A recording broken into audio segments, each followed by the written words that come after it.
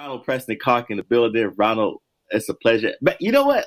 How did we first meet? Let's let's start from there because I, I I I'm fuzzy about this story. Could could you take me down memory lane? How did we first meet? Was it Brothers with Ties? Was it Brothers with Ties? It might have been Brothers. It might have been Brothers with Ties. At, at least I know I heard about you through Brothers with Ties. Right. Um, and then we just started landing in the same circles, and you know, uh, iron sharpens iron, and real recognize real. So we just started kind of checking in with each other.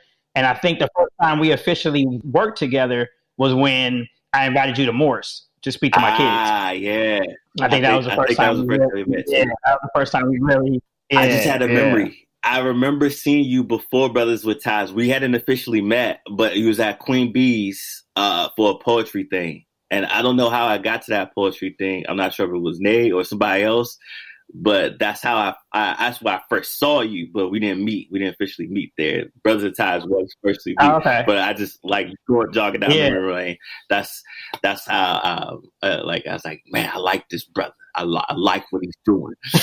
um, Yeah. It's it's funny how San Diego works with the black community because um, if you're doing something, you're eventually going to run into each other. Like it's just, I mean, because there's there's a certain group of people, there's a certain number of people who are active in in various forms. So whether you meet immediately or down the road, you're going to meet simply because you're active. Yeah. And so it, it was destiny for it to go down. You know what, too? That is no lie because there was a couple times your name had came up when I was doing Connected Careers back when I was at San Diego Workforce Partnership, and I was trying to do. Uh, I was putting some youth programs together, and then uh, there's two people that told me like, "Yo, you know, you really need to connect with Ronald with what you're doing," um, but they didn't have your direct line, so I was like.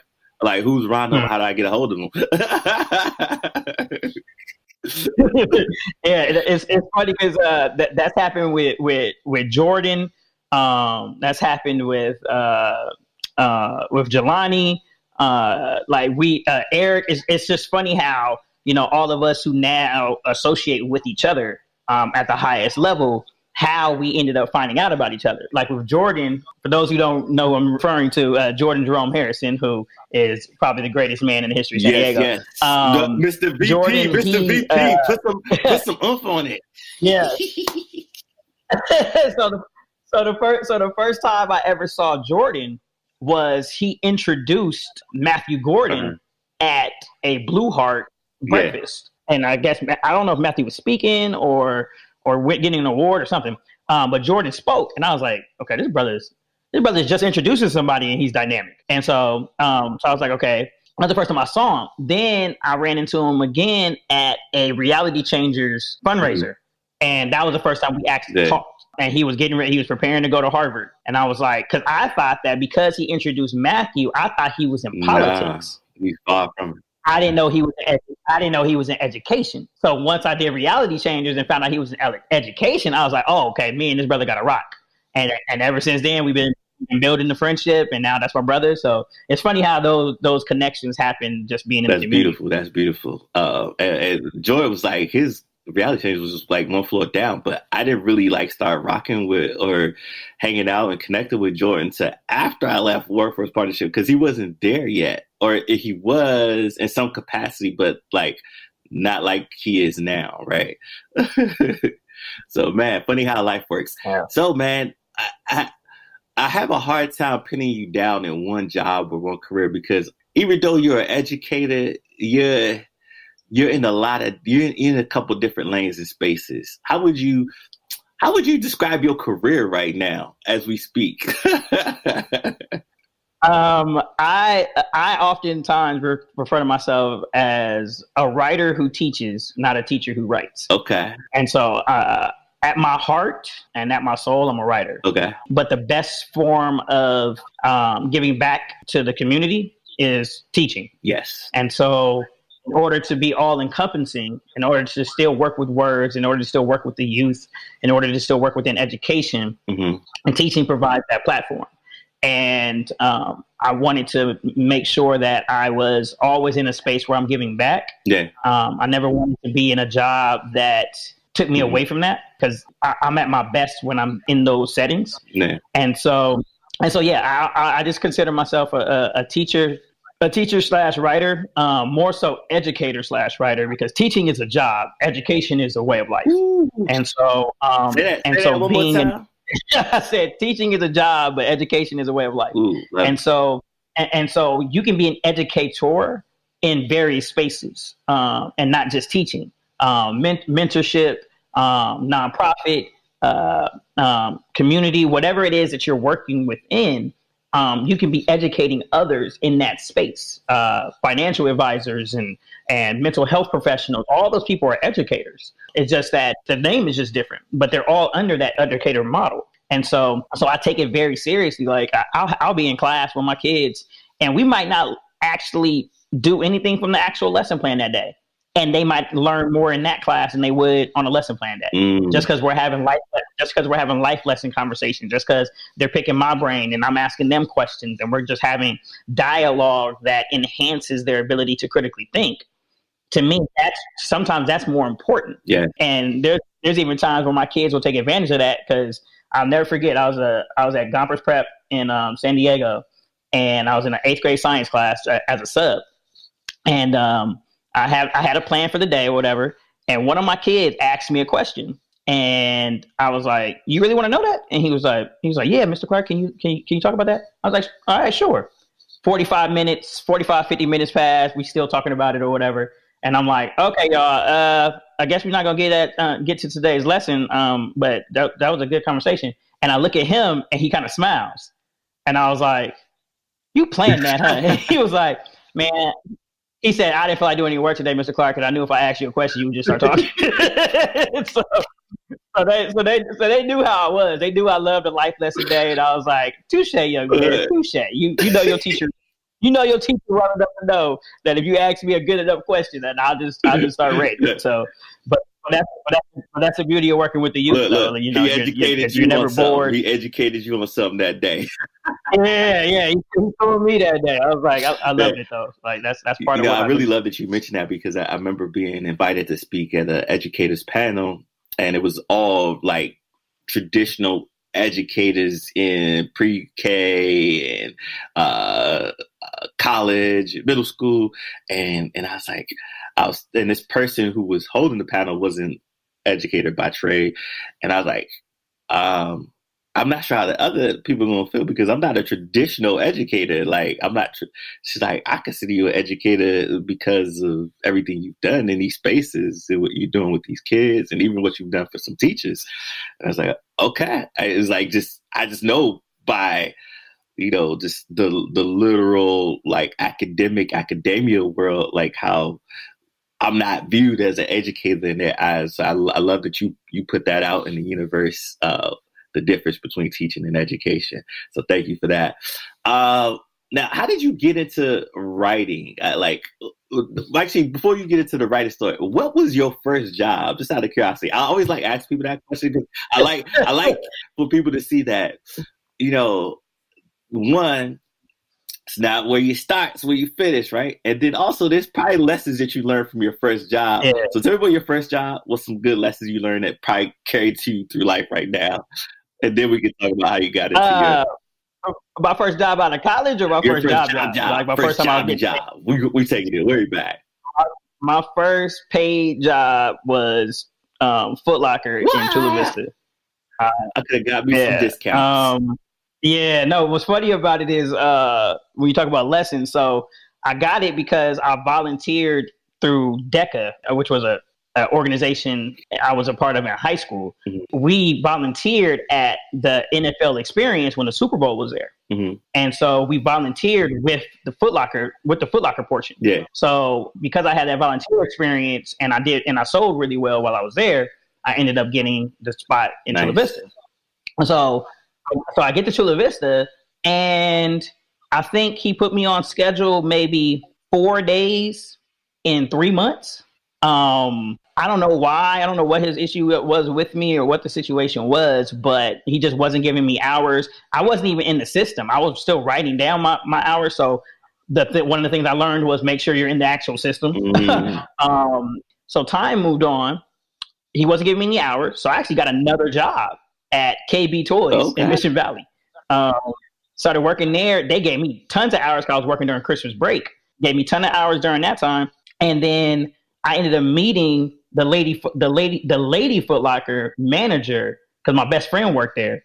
Uh, the lady Footlocker manager in Mission Valley. Yeah. Because I was in the system in Chula Vista, because I was part of Chula Vista, I could work at Lady Footlocker. And so she started giving me hours over there, and I started slanging. Uh, And so I started slanging, um, but I'm only going over there when when other people don't need to work. yeah. So I'm slanging, slanging, slanging. Um, KB Toys ends.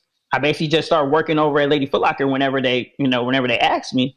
And eventually, because my best friend would tell me at uh, at school in high school, he would tell me in school, "Yo, somebody's missing today. Can you come in?" I'd be like, "Bet," because I had to catch a trolley and stuff. I didn't have no cell phone. Like I was, it was real Right. gutter. You know what I'm saying?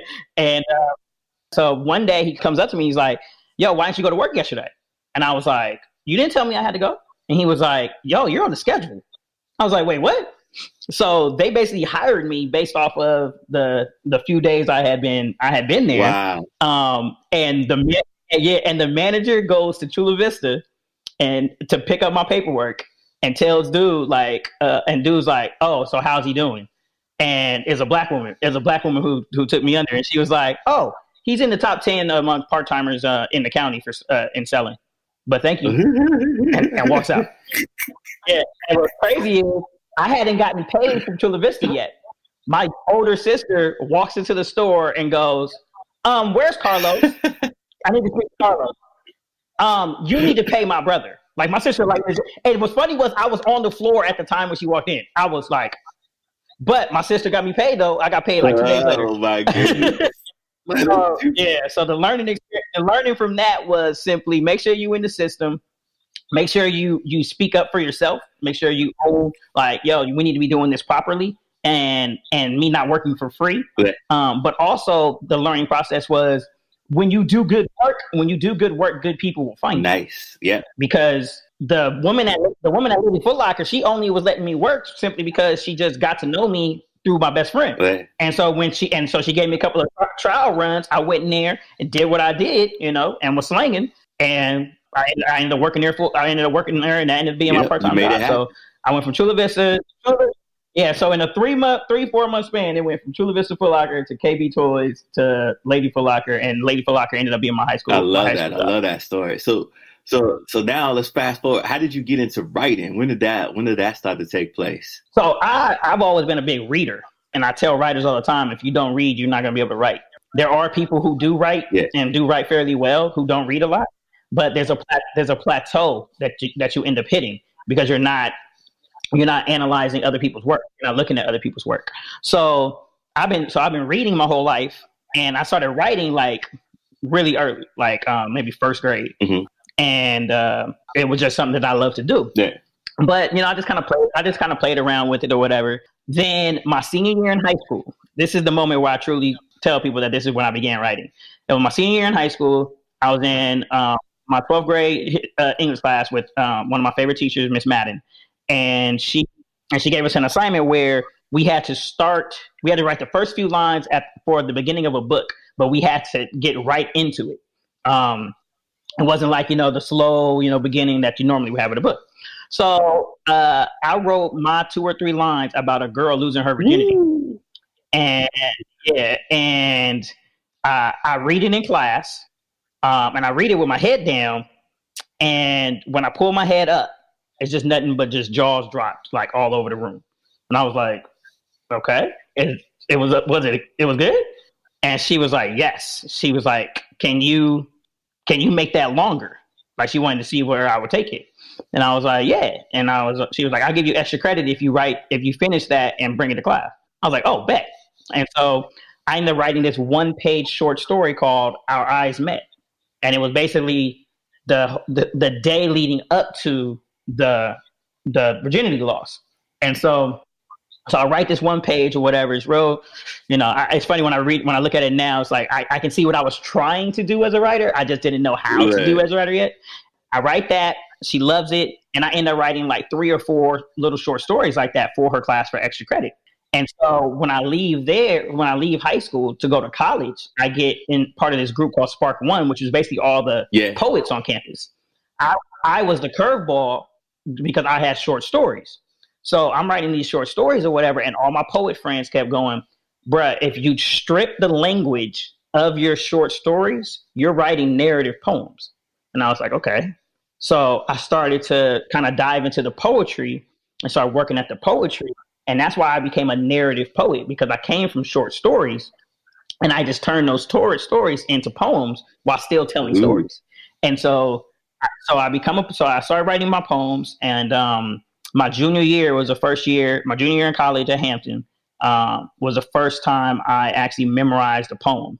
And still to this day, my favorite line I've ever written in a poem is from that is from that poem. It goes, uh, um, as our words intertwine and our hearts crisscross, Christ christened our combination the second coming of Adam and Eve. Because there's so much alliteration in there, there's so much, there's, there's just the rhythm. I just love that line, and um, and so I, so I memorized that. Going on in that and line. then yeah, there's a lot going on in that line. And what's crazy is that I, I wrote that poem for an HIV event we had on campus. Uh-huh. And so the poem itself is about a young man who who sleeps with a woman, not realizing that that woman had just received the HIV virus from someone else, and in order to pay it to basically as a form of payback, she gave wow. it to somebody else. And so and so this whole cycle. And so um so I wrote it for that. And then um, uh, senior year, I became part of this group called the yeah. Left Side Poets. It was about eight or nine of us, and we ended up publishing a book in 2011 that won uh, called the Left Side Poets Present Strange Fruit. Oh, so you wrote a book um, before you wrote a and, book. Yeah, yeah. Now, yeah, this is a poetry. This is a collective poetry book called "The Left Side Poets Present Strange Fruit," and we actually won a National Underground Spoken Word Poetry Award for Poetry Book of the Year. And so, so that happened. So that happened in 2011. Um, but so my degrees in journalism. I don't know if you knew that, but my degrees in journalism. So I was I was headed to ESPN. Uh-huh. Like that's that was my original route. That, that's um, what my that's what my, my mentors works at right now. Okay, that's what's up. Yeah, one of my one of my best friends works for the S, uh, for the. SEC network, and so um, so I was doing all the journalism stuff. I was in three nationally recognized programs in college. I had three internships. Um, I wrote for MLB.com. Like I was doing really big things. Uh, moved to New Jersey after college, worked for a newspaper out there for three years. But while I was there, I fell out of mm. love with mm. journalism.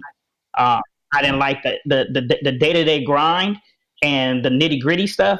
I didn't. It, it took away a lot of my creativity. Yeah. And so in the midst of that, I started falling in love with screenwriting. And so I wrote like three or four scripts while I was in New Jersey. Mm-hmm. Um, and I moved back to California in 2011, not to teach, not for poetry. I moved back for screenwriting. Mm. And I got, and, and, I ended up going to the UCLA um, professional program in screenwriting for a year. Uh, my screenplays have been read by uh, by Michael B. Jordan, um, Ava DuVernay, um, Salli Richardson Whitfield, Regina King, Jurnee Smollett. Like I've had some pretty heavy names touch my stuff and one of my screenplays was supposed to be produced by Isaiah Washington. Ooh, I can't um, wait for before, that. Yeah, before he lost his mind. Um, I can't rock with him now because because of his old situ him being oh. a Trump supporter. but uh, yeah, but uh, but uh, but yeah. So like, so I did journalism. I did the journalism. Um, I did. The, I was on the 2013 Elevated Slam team that finished fourth in the country. Uh, um, and then I hosted my own open mic, Lyrical Exchange, for four years. And so I was always in this. I was always in this creative space, always in this writing space, mm-hmm. but nothing had popped off at the level that I that I thought I could pop off at. Like I had I had chances, I, I had things that were kind of kind of working out or getting close, but I was just getting close, but not getting over that hump. Yeah. It wasn't until I wrote the book. It wasn't until I wrote Vinny a Love Letter. Um, did I truly find myself exactly where I was supposed yeah, to be as a writer. Vinny, Vinny was a, a, great, a great story, great testimony. I'm glad those words. There's a lot of uh, people that I, have I've ran into that read your book and said how much has impacted their life. So, um, the relationship that you know us as men have you know, sometimes I see a little bit of Vinny in myself uh, with my relationship with my pops growing up. You know what I'm saying?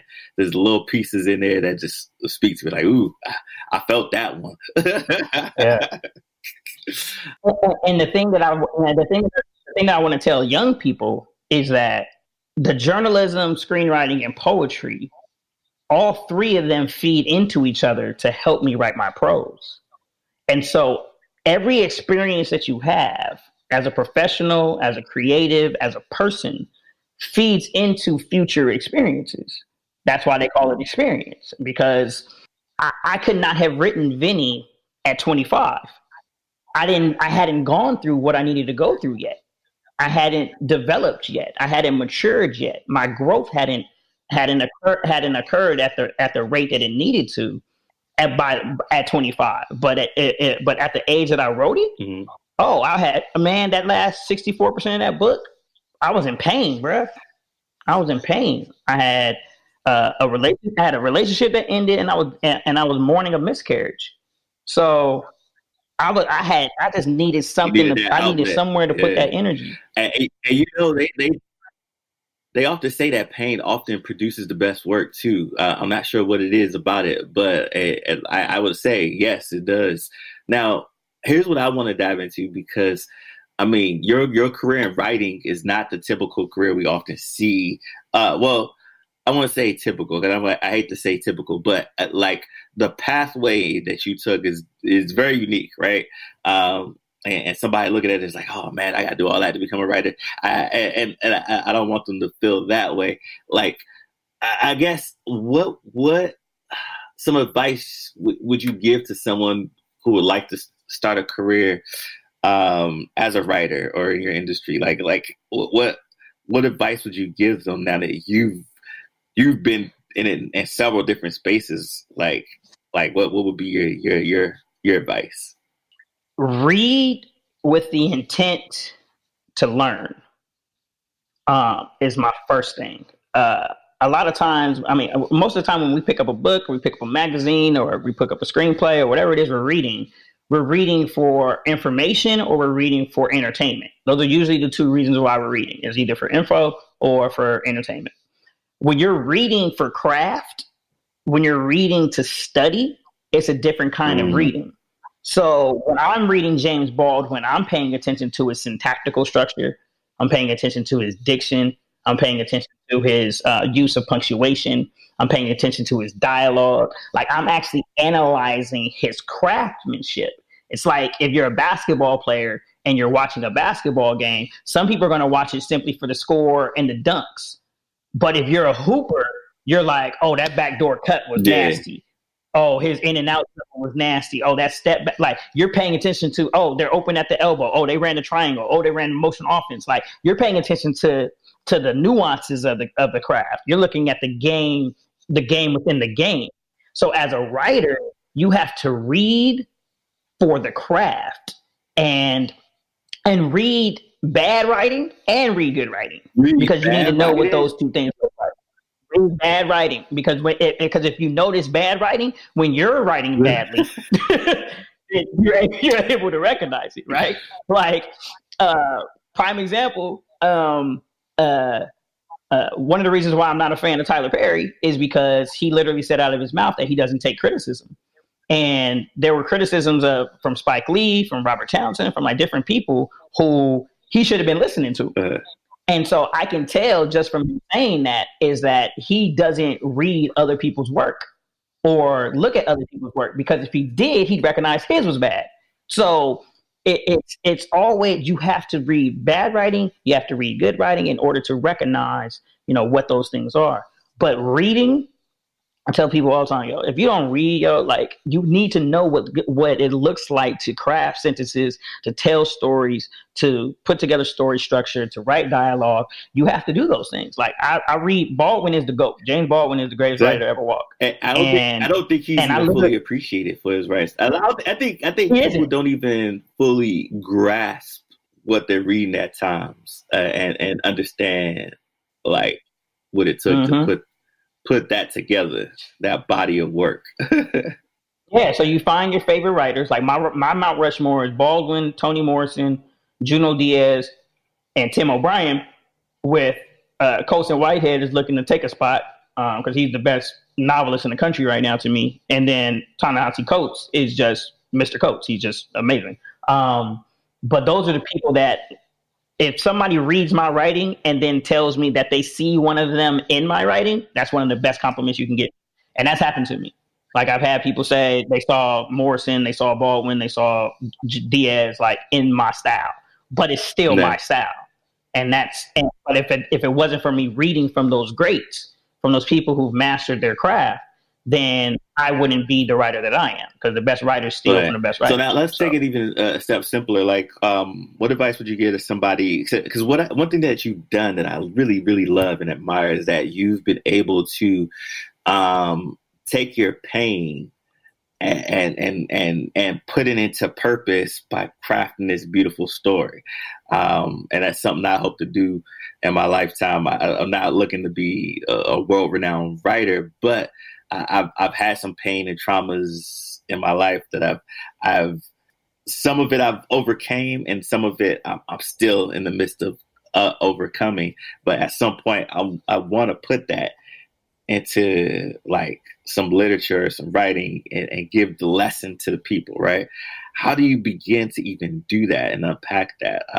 Because um, I, I feel like that's an emotional process, and to be able to pin that down and then do it in a structural way for people to let people in to, to so they get that feeling and also they get the lesson from it too. Woo! Like, how do you do that? Um, it, it honestly comes back to self reflection, transparency, and accountability. Mm-hmm. Uh, you, you have to be to write from pain. You have to acknowledge that you're in pain uh, a lot of people don't even do the acknowledgement process. Oh, I'm okay. Oh, I'm good. Oh, I'm fine. I was not good. I was not okay, and I was mm-hmm. not fine. Uh, and and my friends and family knew that, and my friends and family also understood that me writing my book was my therapy. Mm-hmm. It was my it, uh, it, was very cathartic for me, and uh, going through that process and just and, and channeling that type of energy into that one project uh, was necessary. I, I, often tell people, I said, uh, I was scared to write my second book because I was I, I, was worried that I was going to be Mary J. Blige, and, and they were like, "What do you mean?" I said, "Mary's best music was when she was in pain. I don't like Happy Mary. I don't like her music when she's happy. She's not the same artist." And with no more drama like no i want more drama like i need you to be i need you to date K-Ci i need you to be i need you to be in a terrible situation but because but because i wrote vinny in so much pain and now i'm happy now i'm in this great emotional space this great mental space and i and i'm i i, I love who i am right i I'm, I was worried. I'm like, dang, am I going to be able to create at the level that I did with this last uh-huh. book? Um, if I'm not in the same mental space. And so with the second book, I have to focus on the craft yeah. itself and not and not the emotion of it uh, itself. The first book was very raw. This one's going to be much more strategic mm. um, in what in what I plan on doing. So I, I just tell anyone like if you're it, it, uh, one of my one of one of our dear friends in, in, in the community in San Diego, uh, uh, Brisa, um, Brisa Johnson, she just dropped um, her first solo music project, and her lyrics blue, you can feel. Blue, blue No, no, no, no, uh, no, no, no, no. That, that's a different. That's okay. a different girl. Um, yeah, different woman, Wait, different what, woman. What, but no, but Brisa, Brisa, Brisa, oh, Brisa Lauren, okay. Brisa Lauren. She, uh, she, yeah, she just dropped her first um, solo project called uh, um, "In Her Stillness," and lyrically, bruh, like you talk about just digging deep and telling stories. And the, I think the the beauty of writing from pain, it, because we're humans, somebody is going to feel it. Mm-hmm. There is no such thing as singular pain. No one person is is the only person to go through what they've gone through. And so when you're writing, even though you're writing for yourself, someone somewhere is going to find something in yeah. it and that's what Brisa got dudes over there in their feelings because they're still feeling what she's writing, and she's writing it from a woman's perspective. Like, no, for real. Like, it's it, it's my sister loves her loves her songs because she's speaking to her, right. and that was and that was Brisa's way of getting through what she was going Ooh. through. And so with me and and so with me and Vinny, that was me getting through what I, I, I absolutely roast Capricorns in Vinny. Why? Because the person I who caused my pain at the time was a Capricorn. So I went off on Capricorn. I don't know. I, I, I, had I had to do it. And so and so it's this it's this it's this it's this. But it was there. It was therapy for me because instead of me causing pain, causing others mm-hmm. pain in order to heal, because a lot of times, because hurt exactly. people hurt people, right? In order for me not to hurt others, I had to put all that hurt and all that pain into a safe space, which was my book. And by doing so, I now end up with a book that just placed in October in the 28th annual Writers Digest Self Published Book Awards. And so 1800 books were submitted into the into the competition in nine categories and I'm one of the ones that was selected. So it's clearly that pain was for a reason. Mm. And so now I'm able to continue with my career without even having to write in that pain anymore. Um, but knowing what I'm capable of because of the pain. And that's why I'm okay with the pain. Absolutely, absolutely. Man, that was that was deep right there. Um, you want to have to connect me to Homegirl too now because now that that's on my radar. Oh, I, will absolutely send you the link. You can see her stuff is on YouTube, Spotify, where everything you got. She got her, her she got her stuff on there, and like I, I keep her in rotation. She's a, a beautiful, awesome, intelligent woman um, who works in the community in right. San Diego. Um, real vibrant, real vibrant, a lot of energy, amazing on stage. She's the lead singer for for Lyrical Groove as well. Um, and so yeah, with Kendrick Dow. And so like yeah, so she she's absolutely amazing. I'm so proud of her for this project because you could just feel and me being somebody who writes from pain, I could feel hers, and I was like, okay, Man. I see, I see, I see, I see where, where, you went. went. I see where yeah. you went. Now, so, um, you know, you're you're heavy in the writing industry, working on Vinny too. What, what do you think the future has in store for the, the the writing industry, and what does this space look like in, in the future as we start to really connect with more uh, Black writers uh, and, and get to hear their stories? What, what do you see?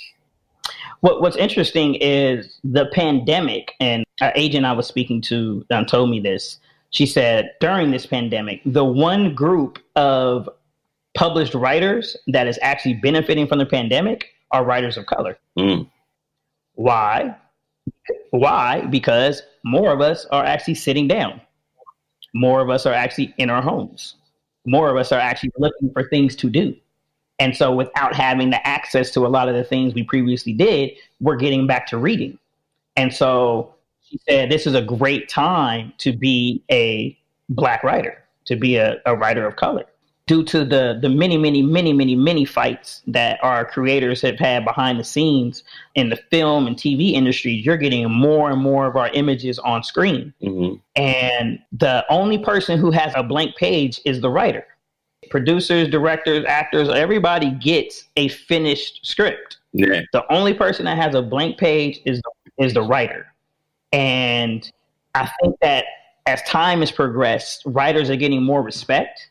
When we had the writer strike a few years ago, yeah. and actors and actresses were almost in tears, like, can y'all please like take care of this because we need our writers. Because you don't work without the writers. You don't work without us. You don't the backbone of the industry. I don't care what anybody says. You can't direct no words. And so you can try, people have, but and they failed miserably. You, you could and, tell when the writers were gone for some yeah, shows because oh. like this, oh, this absolutely. ain't even the same show. Like, what is this? Yeah, I'm like that. That character wouldn't say that. And so writing is always going to be here. It's always been here. You have different ways in which it shows up now because you know them little TikTok videos and stuff that takes writing. These web series on YouTube, writing. I tell my kids who play video games all the time that the little mini movies they have at the beginning of these RPGs and stuff, somebody wrote the script for that. Somebody writes everything, everything we enjoy when it comes to entertainment, literature, whatever. Somebody had to write. Yeah. And so when you, so all you have to do is decide if you want to enter the industry, which part of the industry you want to enter. Then you find mentors or at least people to look up to from afar. Mm-hmm that are in those industries, and then you listen, and then you listen. I got mentors in journalism, poetry, screenwriting, and prose. And the first three, I got heavy hitters on my list, like monsters in the game that like people like, wait, you talk to who? yeah, yeah, yeah, Jemele Hill was my big sister. Like that was the home. Yeah. Like that was one of my big. That was one of my big supporters of my career. I've written for Jim Rome or or attempted to. Uh, I, me and Chris Broussard have had lunch. Right. You know what I'm saying? Like me and Mark Marc Spears has gotten me into a club. Right. You know what I'm saying? Like like I was headed to ESPN when I left that industry. You know, some of them stayed with me, some of them didn't. It is what it is. But I always found a way to get myself in front of people, and I opened my mouth.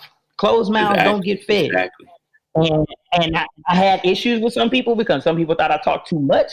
But I was like, bruh, nobody's going to know me if I don't speak. Exactly. And I'm not going to get the information that I need if I don't speak. And also, I tell people that all the time. Yeah, and I'm at the time I was five six, a buck twenty five. Nobody's gonna talk to me. I was telling somebody the other day. I said, people, I, am now five six, a buck forty, and I've been called intimidating by people. It's not because of my stature. It's not because of how how I'm physically in the room. It's my presence in that room. It's my voice in that room. It's my intellect in that room. It's my sense of humor in that room. I had to use my voice in order to fill up space because my stature didn't fill up the space for me. Okay. And I wasn't going to have anybody approaching me or want to talk to me if that wasn't the case. So I had to take some losses because of that. And I'm very aware and understanding of those losses I had to take. But I had to do what I needed to do in order to get myself in front of certain people, you know. And now I have a national network that I can tap into at any point in time because I spoke up in in every environment that I was in. Right.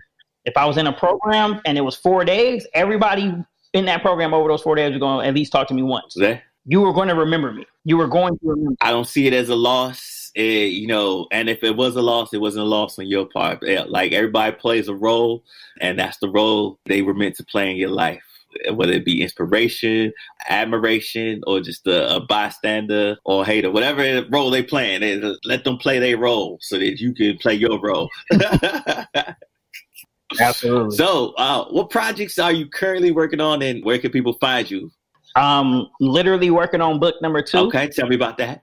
Uh, working on um, the sequel to technically the sequel to Vinny, but it's it's more uh-huh. so a standalone. But it has the Vinny story in it. It's called "I Love You, Walter." It originally was going to drop uh, in 2021, but I signed with a literary agent uh, just recently. Congrats on the literary agent. Congrats on the award. Flowers to you, brother. Thank you, thank you, thank you, thank you. So I signed with a literary agent. So my next book won't come out for probably another year and a half, two years, because uh, that's just how the publishing business works. Uh, but it will be I Love You, Walter. The thing that can be supported now is in February, uh, maybe March, I'm hoping for February, but just COVID's going to make determine a lot. But I'm going to be dropping the second edition of Vinny a Love Letter. Going to have a new cover, going to have new mm-hmm. acknowledgments, a couple people taken out, some people added. It'll also have the judges' comments from the contest. Uh, it will be in the. Uh, oh, go ahead. Tell, tell the people the award you won now. Don't, don't stop being modest on me. Tell them the award you won. Uh, uh I, I, mentioned I mentioned oh, it earlier, oh, but okay. uh, I, I, was uh, I was able to win uh, or place uh, in the honorable mention category for the 28th annual Writers Digest Self Published Book Awards. There was 1,800 books submitted. I was selected amongst the top in the mainstream literary fiction category. That was just that was a, a, a major major yeah. event for me. gave me a lot of vindication, a lot of um, understanding that like it wasn't just people who knew me who were supportive of the book it was people who had no emotional connection to me whatsoever who still who still rocked with it. Yeah. So the primary reason for the the re-release of the book is that they gave me one of those little award seals that you can put on the front of a book. Oh, nice. So it says so it says 2020 Self Published Book Awards honorable mention. It's gonna be on the front. It's cool because you know people always talk about like, oh, I got the first edition of this book. So now people who have Vinny already, and we've sold over, I think we just passed 815 copies in the last two years. Uh, people who have the first book now have the quote unquote first edition of Vinny a Love Letter. Right. And so some some people want to buy the second one, even if they have the first one, which I think is awesome. Uh, so we're going to drop that hopefully in mid February, as well as we're going to be dropping the audiobook Vinny a Love Letter, which a lot of people have been asking for. I'm not reading it my dear friend, uh, Mr. Amin Ra, who is a love that guy. Yeah, celebrated poet in San Diego who now lives in North Carolina because that's where he's from. He actually is the one who is reading the book. So he's reading the book. I wanted a different voice, but I wanted a poetic voice and I wanted a voice I could trust. So Ra is doing that for me right now. So in February, the audiobook should drop. The second edition of Vinny should drop. So feel free to support that at rprestonclark.com.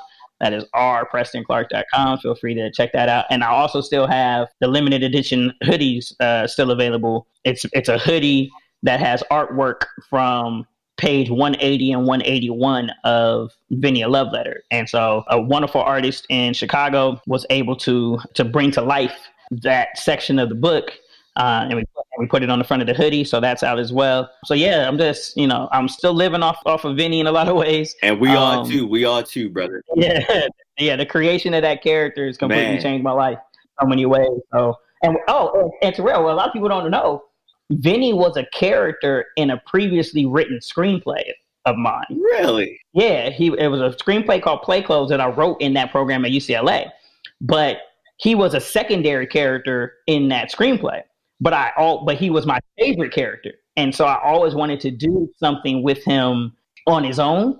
And I originally thought it was going to be another screenplay. But when I got the opportunity to write for my friend's website, I took him out of that screenplay, fleshed out his story, and you know, wow, that's that's amazing. That's pretty dope. I didn't yeah. even know that. Like the things that you learn, man. Yeah, Ronald Preston Clark, ladies and gentlemen, man, it's been a pleasure. We could do this all day.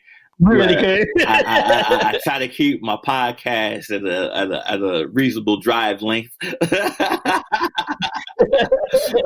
As I'm a newbie yeah, in the game. Yeah, yeah, gotta, gotta, be able to get the Temecula with one, one podcast. Yeah. uh, I, I, want to end off with this. What books do you read? What what you marinating with right now? Uh, get that to the people. Um, currently, I'm reading my Soul Affirmations, a toolkit for reflection and manifesting the light within, by my boy Kariga Bailey. Nice, nice. It's just a book of affirmations. That's my small thing. I'm reading, and this is why I say diversity is key. So I'm reading the affirmations. I'm reading two magazines on Kobe. Uh-huh. One of them was his right after he retired they did a whole a whole issue on him, and then the one after he passed away. Uh, and so uh, I've been eating. I love eating off of Kobe's Kobe's words and Michael Jordan's words. They were just determined at the highest of levels. And then I'm reading uh, "Defining Moments in History" by Dick Gregory. Okay. Also serves as my pseudo textbook for my class. Reading that, and then um, my current Baldwin is "If Beale Street Could nice. Talk." Yeah, so that's the literature that I'm kind of diving into you got a right nice now. palette there. So nice. yeah, I was a very diverse palette. There's a lot of flavor on that plate. Because kids don't realize if you're reading magazines, even if it's a car magazine, fashion magazine, whatever it is that you're interested in, you're still reading. Like you're still reading. So don't make it seem as if because it's not a book that you're not reading. And I think we, and I think us as educators and mentors, parents, counselors, we need to start letting our kids know that more often that you still are consuming words, you're still consuming literature, even if it's not in a traditional way. Absolutely. Well, Ronald Preston Clark, thank you again for coming through, my brother. Um, it even feels weird for me to say your whole name. but I got to do it for the people. It, it, it's funny. Me, me, me, know, me, me, Jordan, because Jordan Jerome Harrison and Eric Morrison Smith, we always tease each other because we call each other the three yeah. names because all, all, of us use all three. Yeah, yeah. Thank you, thank you for coming on. There's been another episode of Raspreneurs. Make sure I go check out my brother. Um, second book coming soon, and that's it. We out.